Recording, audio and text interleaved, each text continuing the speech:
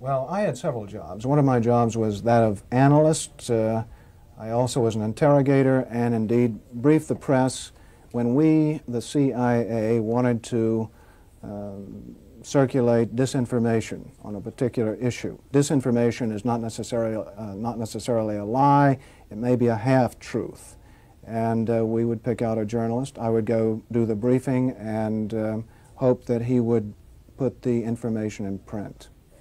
Uh, we would uh, go after these gentlemen. Uh, I would uh, be directed to cultivate them, to spend time with them, to socialize with them, and, and slowly but surely to try to gain their confidence by dolloping out uh, valid information, information which was true. And then I would drop in uh, into a conversation the data that we wanted to get across which might not be true. We were interested in targeting those reporters who could get their material in the New York Times, the Los Angeles Times, and so forth. And um, once again, I want to make it perfectly uh, uh, clear that we were not hiring these reporters. They were not operating as our spies or as our dupes. But in a war situation, when there are so few sources of information, uh, a reporter may rely on a CIA contact and he becomes vulnerable.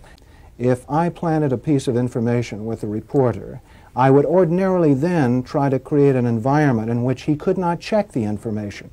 I would go to the British ambassador and brief him on the disinformation I had just given the reporter.